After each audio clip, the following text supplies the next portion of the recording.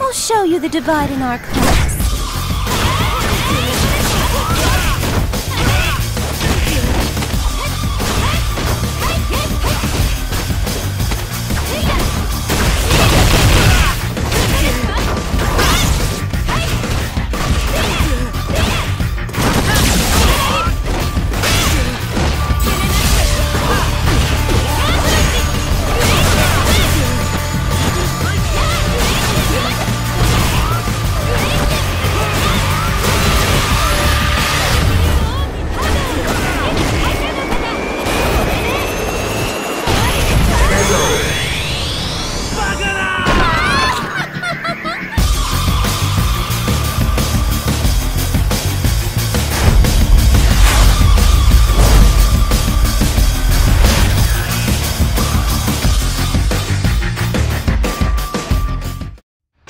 项目。